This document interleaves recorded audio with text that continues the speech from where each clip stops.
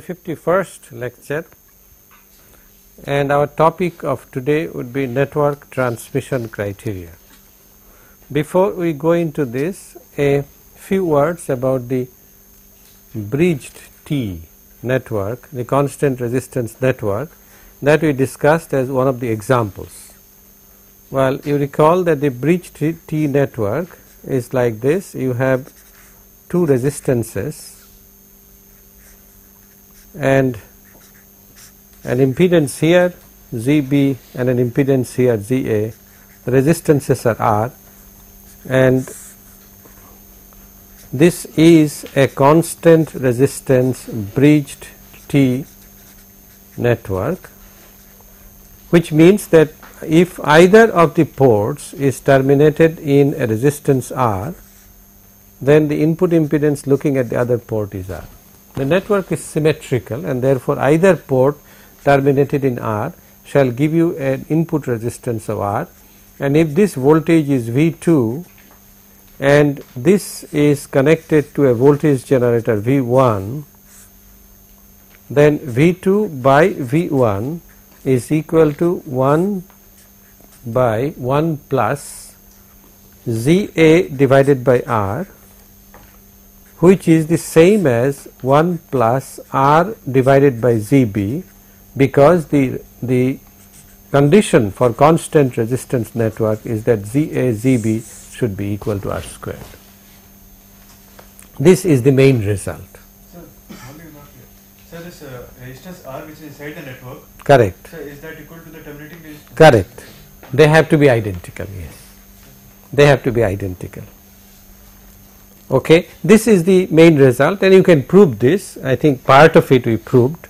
What we want to do is to illustrate this with an example. uh, and as I said constant resistance networks are most useful in cascade synthesis that is break up the given transfer function into component ones, simpler ones and realize each simpler transfer function by a constant resistance network then cascade networks. That is what you do is you have a network N1, you have a network N2 both of which are constant resistance and then terminate by R. Okay. Drive it by a voltage source V1 if this is V2 and if this is V3 then V3 by V1 is equal to V3 by V2 that is the transfer function of this multiplied by V2 by V1 and because the input impedance here is equal to R, the transfer function of N1 is not altered, is not changed when N2 is cascaded to it. This is the beauty of constant resistance networks and they are the answers for the lack of buffer devices like op amps in passive circuits. The cost that you pay. You have to pay a price for every advantage that you accrue. The cost that you pay is the increased number of elements. It is expansive, constant resistance networks are expansive in the number of elements. And the power losses. Power losses of course. Power loss possibly is not of much concern, not of much concern particularly in filtering applications, okay. But filter in filtering applications the main concern is frequency filtering it is not power. But if power can be preserved it is a good point it is a plus point alright. Let us take an example. Suppose I have to synthesize a transfer function V2 by V1 equals to s squared plus 1 divided by s squared plus 2s plus 1 times s plus 2 divided by s plus 3 let us say.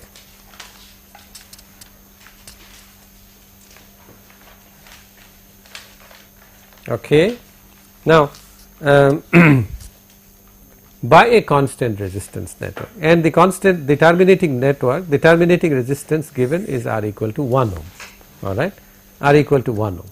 Then what I do is I look upon this as the product of two transfer functions one is this and the other is this and this obviously can be written as 1 plus 2s divided by s squared plus 1 which means that ZA for this network this is 1 plus ZA by R. So, ZA is this ZA of the first network whereas this can be written as 1 over 1 plus 1 by S plus 2. So, ZA2 ZA2 this for the second network it is this.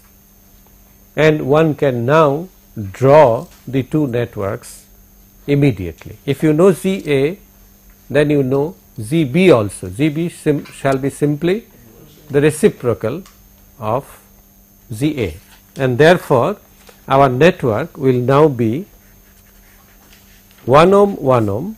The input is a voltage source V1 then ZA ZA is 2S divided by S squared plus 1 which I can write as S by 2 plus 1 over 2S. This is an impedance. This is an impedance so 1 by this must be an admittance in other words we have a capacitor of value half in parallel with inductor of value 2 2 Henry and that is it. Then what we have here is the reciprocal of ZA. ZB is R squared by ZA, R is 1 therefore, it is the reciprocal. In other words treat this as an impedance that will give you ZB which means that we have a half Henry inductor in series with a capacitor of value 2 farads. Okay. This realizes the first transfer function on the on the condition that the termination is 1 ohm right. The condition is that the termination should be 1 ohm. Instead of 1 ohm we cascade a second network okay? And the second network realizes the transfer function s plus 2 divided by s plus 3 which gives you ZA2 equal to 1 over s plus 2 and therefore I have the second network 1 and 1 these two must be there. Then in parallel I have 1 over s plus 2 which means an, an admittance of value s plus 2 that means a capacitor of value 1 and a resistor of value half. Okay.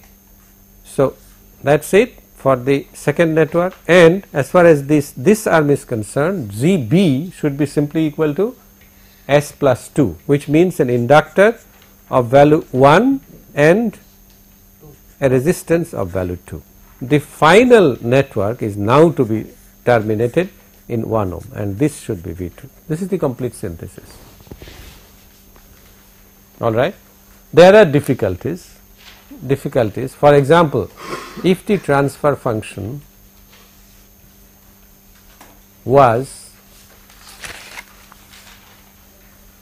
uh, let us go back to this. Suppose the transfer function was s plus 3 over s plus 2 alright s plus 3 over s plus 2 could you have realized this? Could you have realized the transfer function? If it was s plus 3 by s plus 2 can you express this as 1 by 1 plus ZA but we can do one thing. What can you do? just a minute just a minute can you express this as 1 by 1 plus ZA where ZA is a PR function? No. no So but what? instead of taking v2 by v1 Mhm. we can take v1 by v2 and for s plus 2 by s plus 3 We can take V1 by V2 that is not what is wanted. So You cannot change the specs. so but for the second function, Ah, I mean for the second network, correct? we can it's symmetrical. It's symmetrical fine. so so we can inverse that. No, no, no. If you invert that the transfer function is changed. There is a fundamental reason why you cannot realize this. Can you tell me what the fundamental reason is? There is a fundamental reason for which you cannot realize this whatever network you whatever network you attempt. No. It's not a question. Well, no. There is no instability s equal to minus 2. The d, pardon me, So 1 plus 1 by s plus 2 that is what?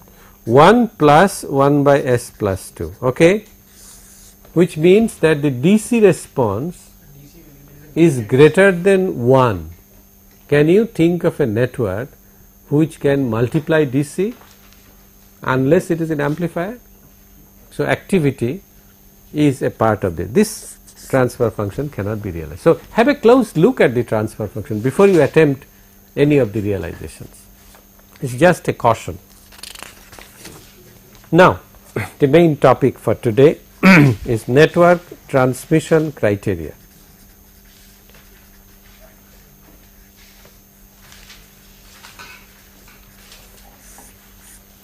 Most of the networks, most of the networks and communication channels that you see in practice are low pass structures.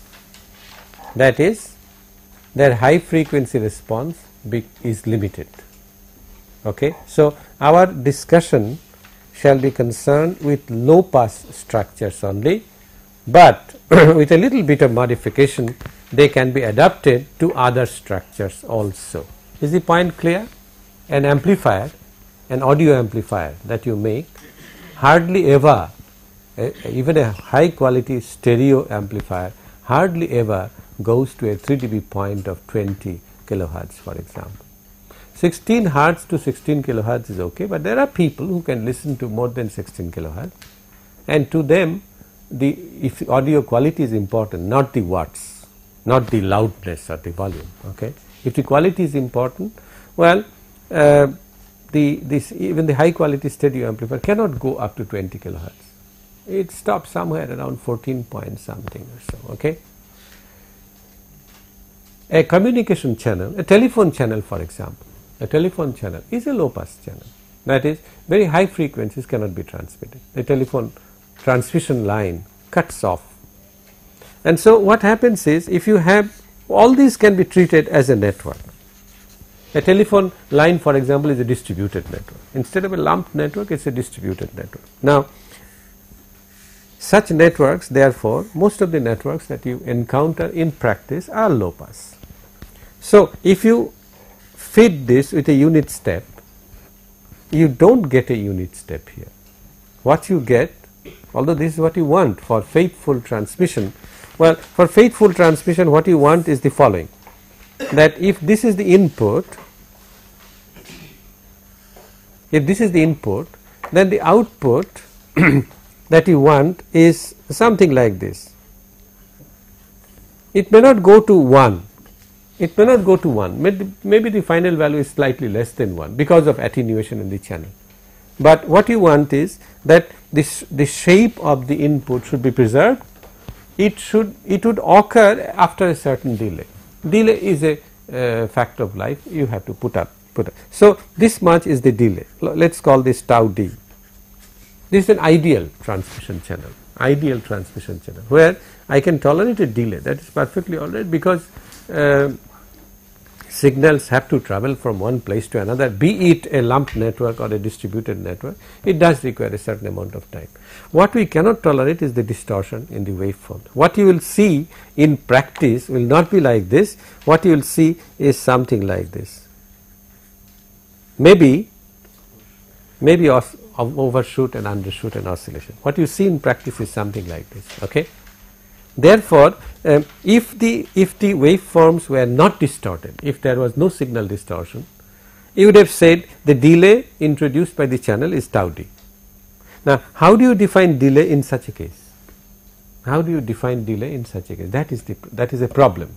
Now, you know that in the laboratory you define delay as the time for the waveform to rise to 50 percent of its final value. This is a rule of thumb there is nothing sacred about it it could also be 70 percent for example alright. Have you ever measured delay time in the laboratory? Oh, you must have in digital uh, in the digital electronics laboratory. Okay. So, what people say is uh, for example, if I if I take a simple RC network and I uh, I feed a unit step here okay then what I get is actually you don't you don't feed a unit step you feed a pulse. Okay? And then look at the look at how the pulse rises. Okay? The, the pulse will rise like this.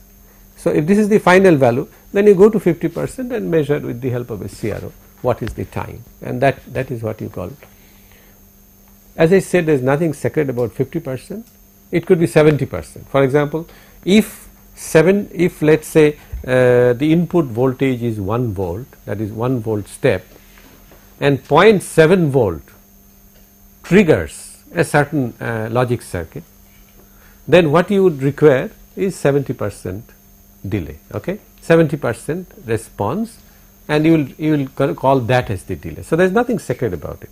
Number 2 it is okay in the laboratory to see on the oscilloscope and measure. But suppose you want to design a circuit. You are an electrical engineer and specifications have been given you want to design a circuit. So you would like to know the effect of the elements of the circuit on the delay right?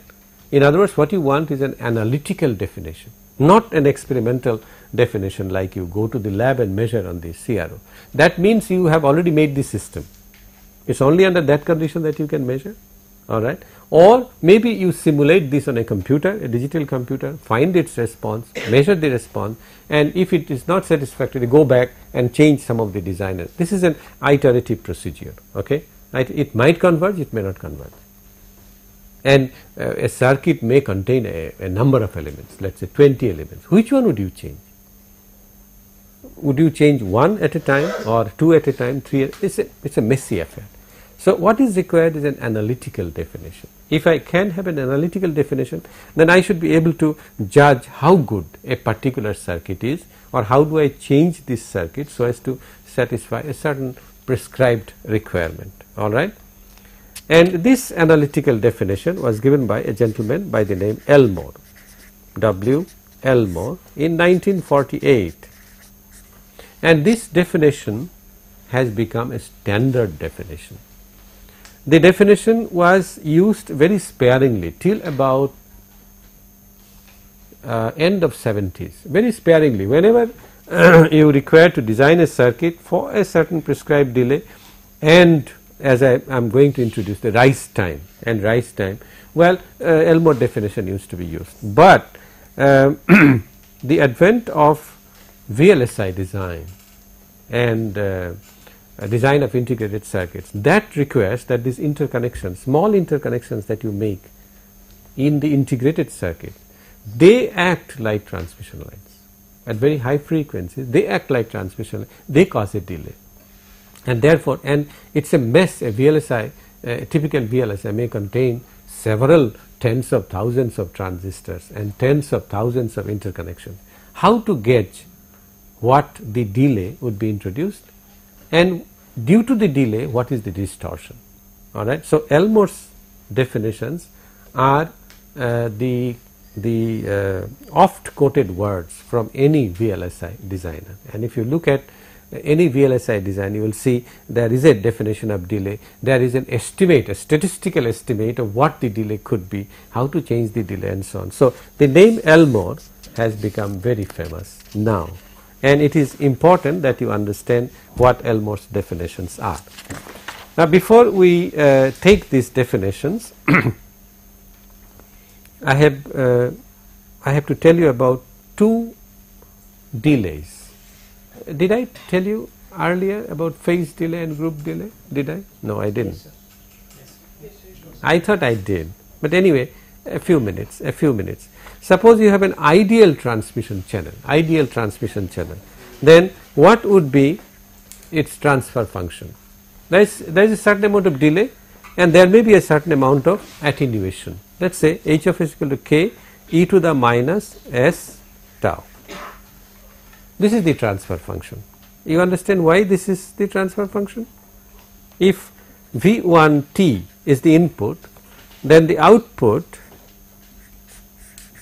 output should be V1 some k times V1 t minus tau.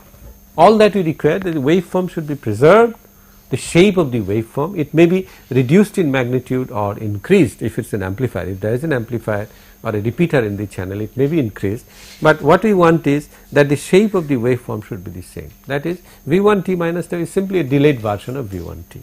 Okay. And you can see that the transfer function of this Laplace of this divided by Laplace of this is simply equal to k e to the minus s tau.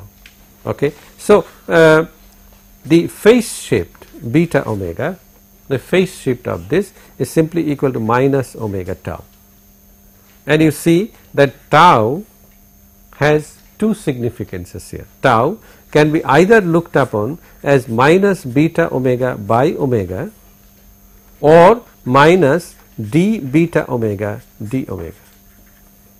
That is you can either look upon this as minus beta omega by omega or the differential coefficient with a negative sign differential coefficient of the phase with respect to omega. So beta? Beta. Beta omega is the phase shift of this transfer function. Obviously, the magnitude is k and the phase shift is minus omega tau. You put s equal to j omega, so j omega tau. Okay.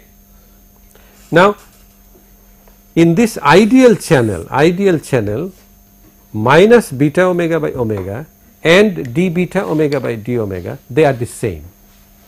They are the same, and it's very easy to define the delay. Delay is tau. It's very easy to measure the delay, um, and uh, but this is not in general true because all channels in practice distort the signal.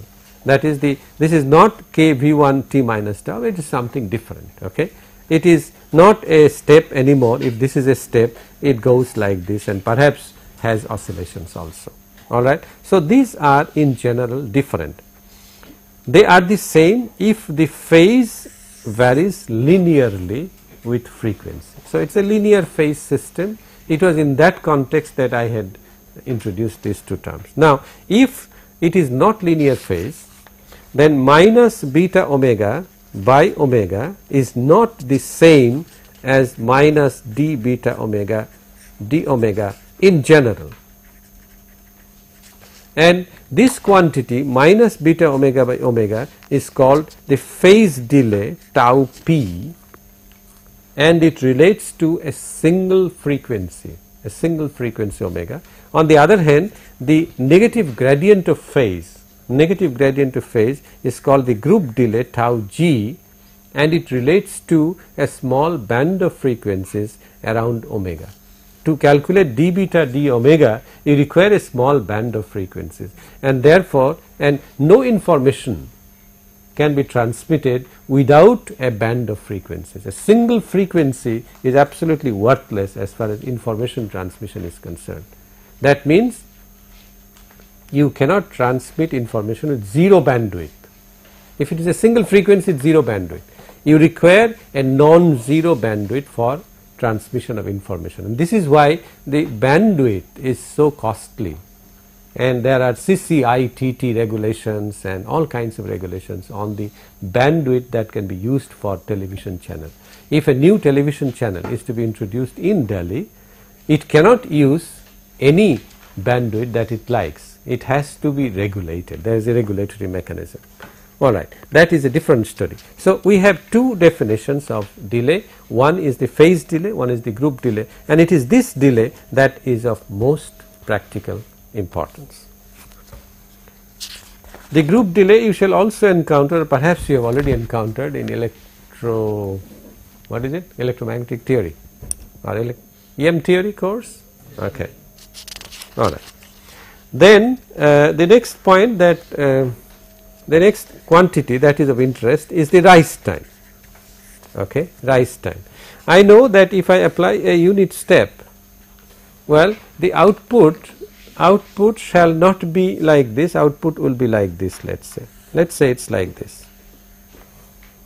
Okay. And I said that in the laboratory you define 50 percent of rise, well it may go to unity, it may not go to unity let us normalize the output response such that the final value is unity. So, you find out 50 percent and you call this as tau d the delay time and in the laboratory you measure the rise time that is 50 percent delay time only measures when the waveform goes to 50 percent of the final value. But if you wanted an integrated view of the waveform how fast does it rise well, what you do is you go to 0.1 and 0.9 and measure the difference that is 10 percent to 90 percent. This is called the rise time tau r.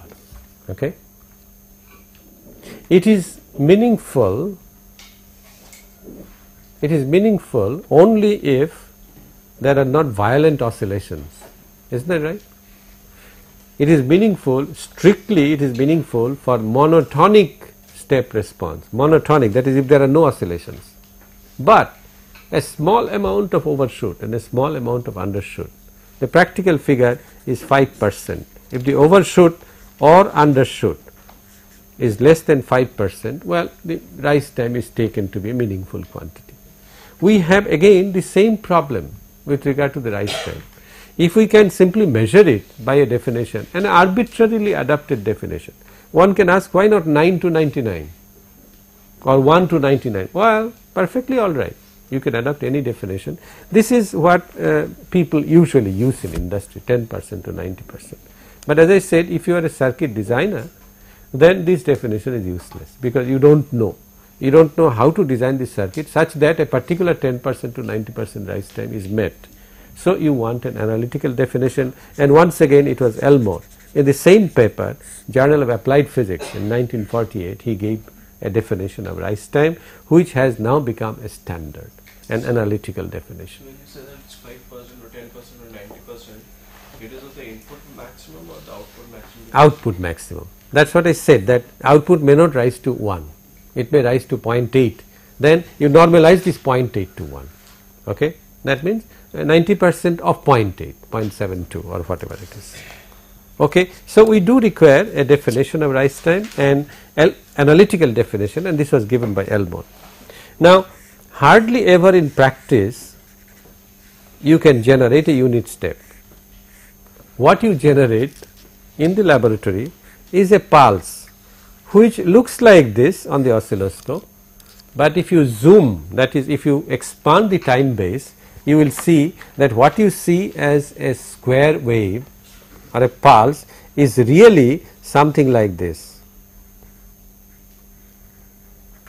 Something like this. If you expand on the oscilloscope if you zoom.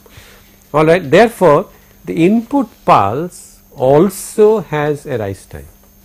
The input that you apply here let us say let us say the rise time is T R I.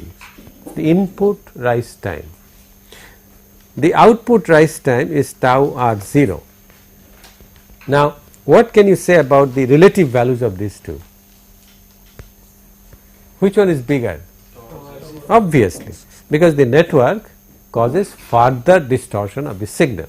Now if tau r 0 and tau r i these two quantities are known we will show later that the network rise time tau r n can be determined by a very simple formula which we shall find later. Uh, before we go further let us take a simple example of the uh, RC network. RC network, simple low pass RC network and most of the channels, most of the communication channels in practice can be uh, modeled by a simple RC network. Now you know that if the input is a unit step VIT, if the input is a unit step VIT is equal to UT then you know that V0t for this network is simply 1 minus e to the minus t by RC multiplied by ut. This you of course know alright. It rises monotonically like this and it does indeed go to the value 1 when t goes to infinity alright. Now obviously the 50 percent delay time is obtained by making 0.5 equal to e to the minus t 50 divided by RC okay you can find out T50 from here alright. If you want to find the rise time by using the usual definition then what you do is you write 0.9 equal to 1 minus e to the minus t 0.9 by RC t 0.9 is a is a is a constant. And the other one is 0.1 equal to 1 minus e to the minus t 0.1 by RC and if you solve this then T 0.9 is approximately equal to 2.3 approximately. And T 0.1 is approximately equal to 0.1. So that the rise time tau r for the simple RC network is equal to 2.2 I have made a mistake here RC. RC okay I must multiply by RC.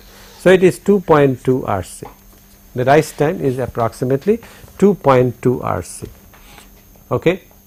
Most of the communication channels can be modeled roughly by a simple RC network like this. So, this figure is also a very sacred figure 2.2 RC. You also know that in the, the frequency response h of j omega magnitude.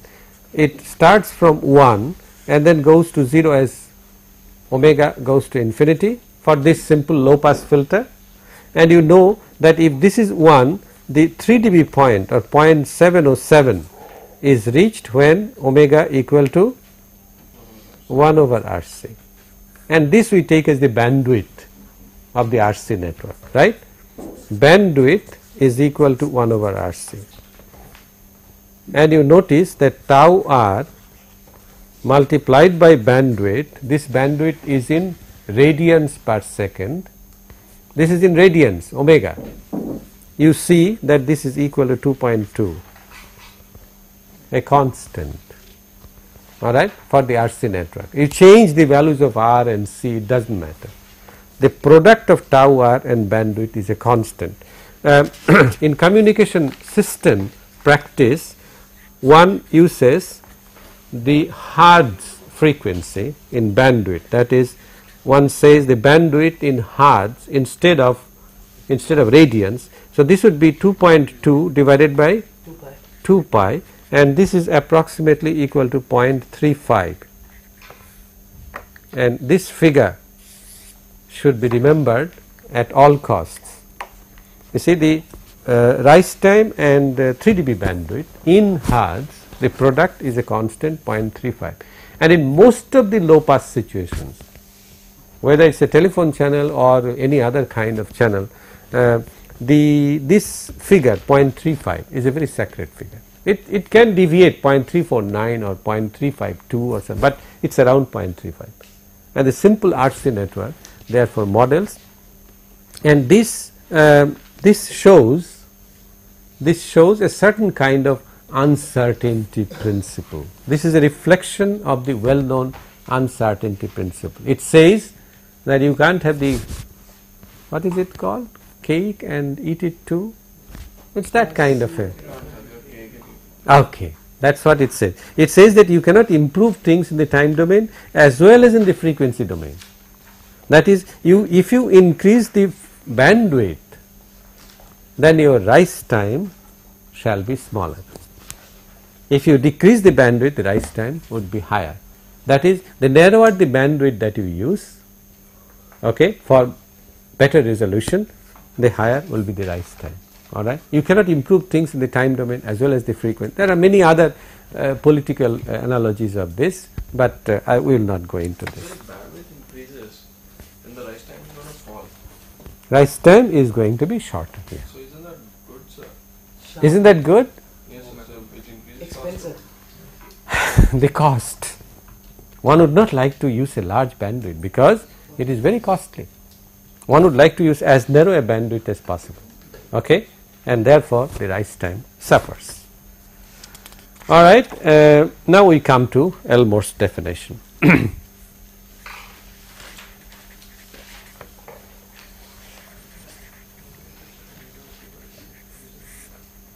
Suppose you have a network N whose input is V1T which is a UT and suppose the output is V2T okay and as I said the network could be such that V2T does not rise to the value 1 even if the input is U of t. So, we talk in terms of not V2T, but V2T is normalized with respect to V2 of infinity. Alright. This we call as V2NT, V2NT normalized output response. Obviously, obviously V2N infinity is equal to pardon me? 1 and V2N 0 0 okay you understand this? We simply normalize this. Whatever V2 infinity is we will call this uh, we will normalize this with respect to V2 infinity so that V2n the normalized value goes to 1 now if V2n t is the unit step response then obviously if I differentiate this with respect to t this would be the unit impulse response that is h n of t normalized unit impulse response. Okay? Is that clear?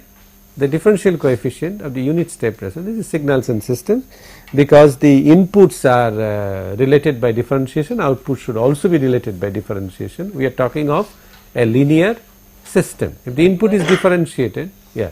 V2n is the output. V2n is the output normalized output and its differential coefficient shall be the unit impulse response. Again normalized normalized okay. Now therefore if V2nt is of this shape let us say it is of this shape then hn of t the unit impulse response we are talking of all normalized values this would obviously be a bell shaped curve isn't it? Maximum slope would be reached somewhere here then the slope goes to 0 here monotonically the slope is 0 here also. So oh, I have not shown it correctly. It, it is like this. It starts with a 0 slope. So you get an impulse response like this. Agreed? What is the area under the curve?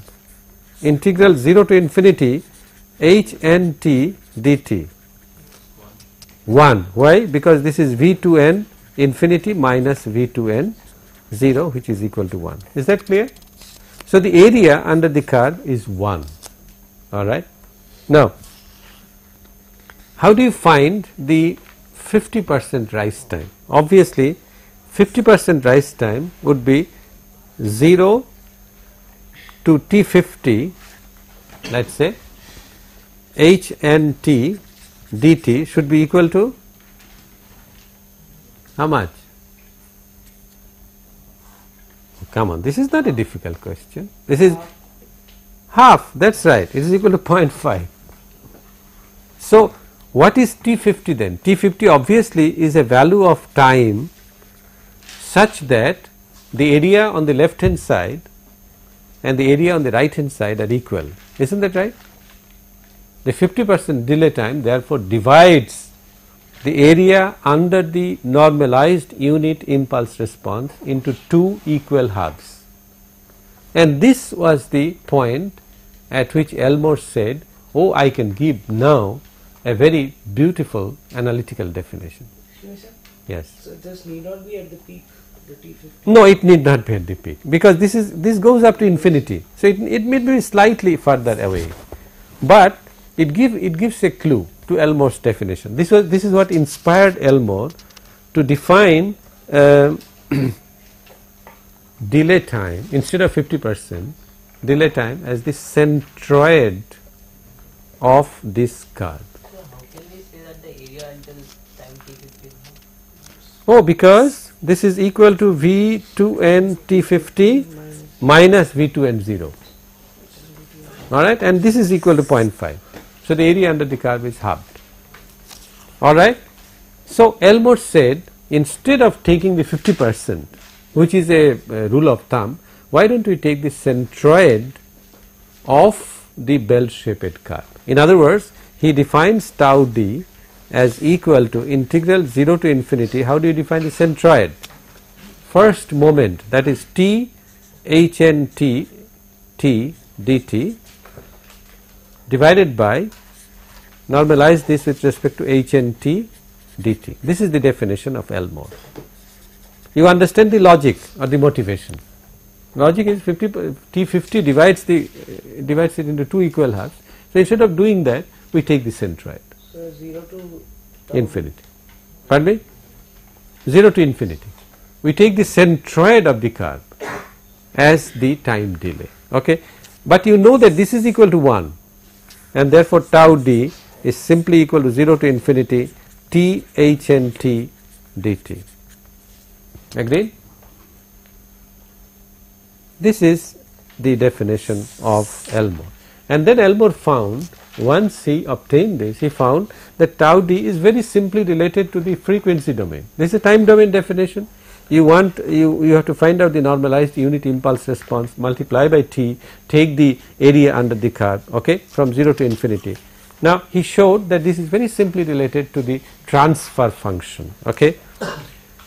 Now you know that uh, HNT if HNT is the normalized unit impulse response then the normalized transfer function would be simply the Laplace transform of Hn of t. Is that okay?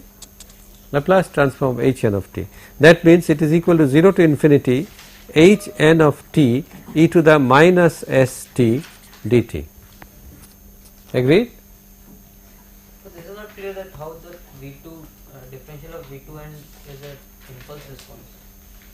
oh V2n t is the normalized unit step response.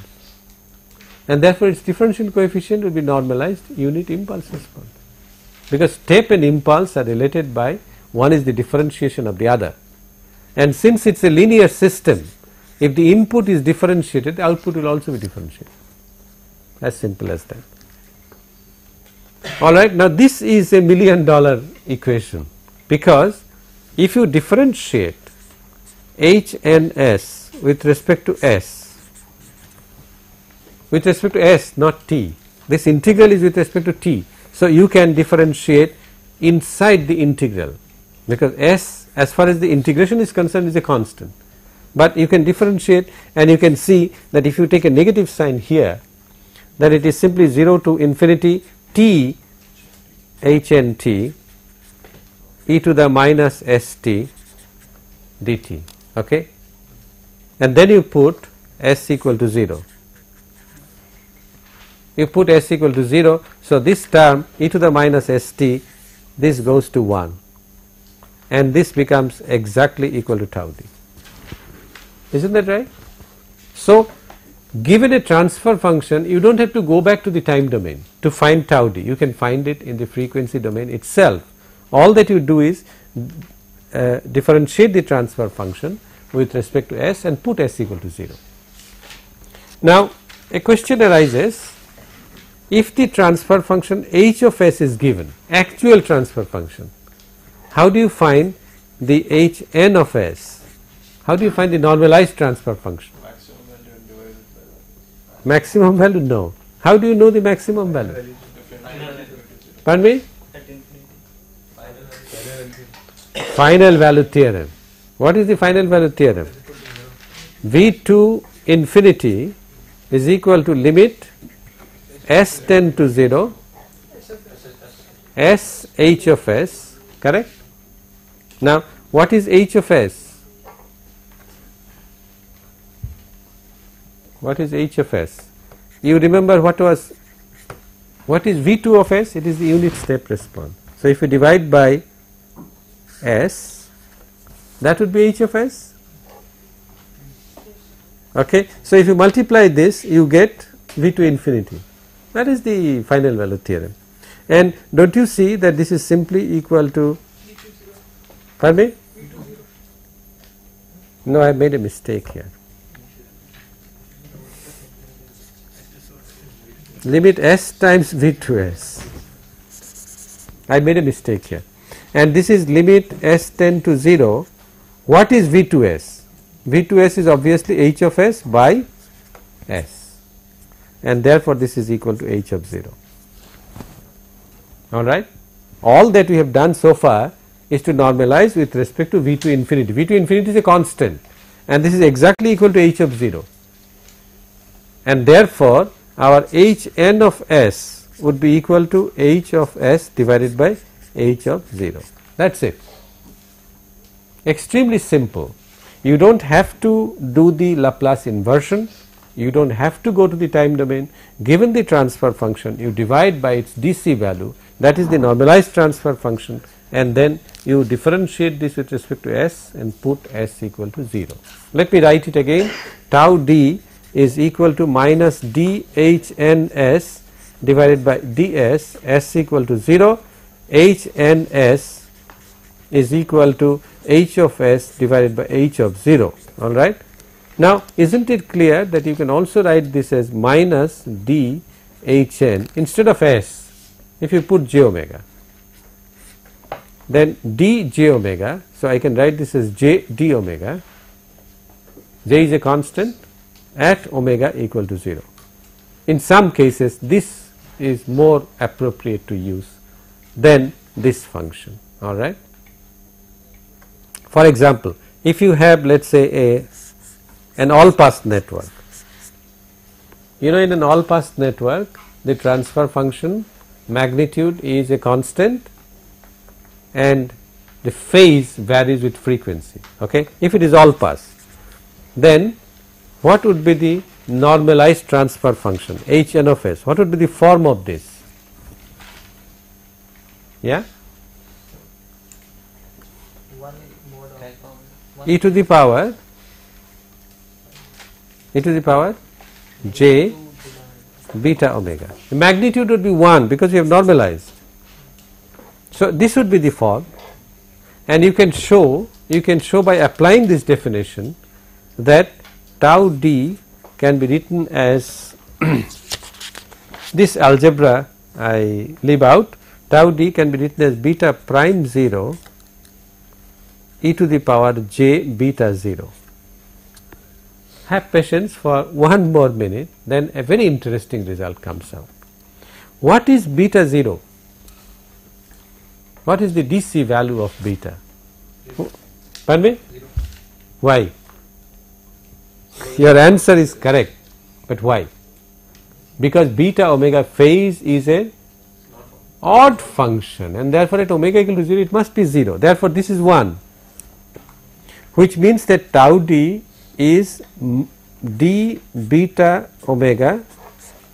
I have made a mistake. Can you tell me why the mistake is? I should have taken a negative sign here. Yes or no? e to the power j beta omega. No, no, no, no. Wait a second. Hmm. Perfectly all right. There is a minus sign here